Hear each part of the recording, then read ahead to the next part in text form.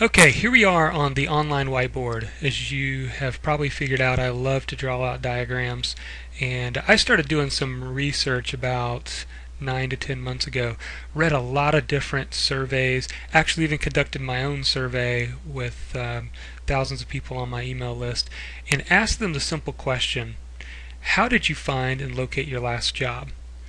And combining those percentages with the other percentages of some of the wider ranged, which wider range surveys, which asked hundreds of thousands of people the same question, here's where the numbers fell, and I think this is real insightful and helpful for you. 8% said that they found theirs uh, attending a career fair. 12% through the newspaper. 22% from online job boards, but the big one is 55% said that they found theirs through networking. And so when we put together our action plan or our game plan this week, it's going to involve over half of it is going to involve networking. So basically for ever for every one activity that you do when it comes to networking is an activity that you pick one of these. And I won't go into all those details right now, but keep this in mind. Networking is what is going to produce the high value activities that you need to perform.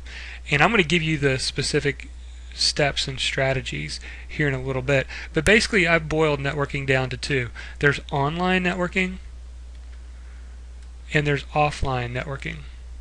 Online networking refers to the internet uh, it uses social media like LinkedIn is a good one, Facebook, Twitter, some of these others. Offline networking is going to be the old build the company names, find out who you know, call and talk and get to know people, that sort of thing. And we're going to kind of dive further into it.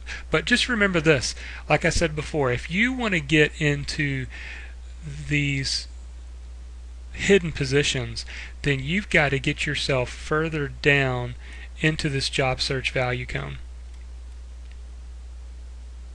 That's where the success is. In other words, right here, is, as you can see, I've put visible. Because again, this line represents, like I've mentioned before, think about the iceberg. Uh, here's an iceberg floating in the water, and this is the tip of the iceberg. Most people get frustrated in their job search because all they see is what they see right here. And guess what?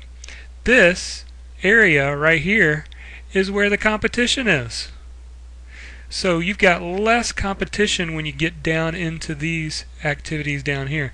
This is where all the action is, all the the competition, all the resumes that are being sent. This is all the reactive people is what I call.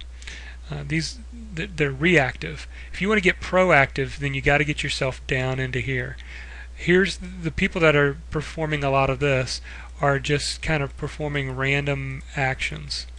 But we're going to help you develop that game plan, and I'm going to give you some specific tips in the next video. On the next video, I'm going to specifically talk about online networking. So go to the next video. I hope this is insightful for you. Keep this in mind. We're going to work on high value activities, and you're going to get yourself further down in this job search value cone because that's where you're going to have the greater chance for success.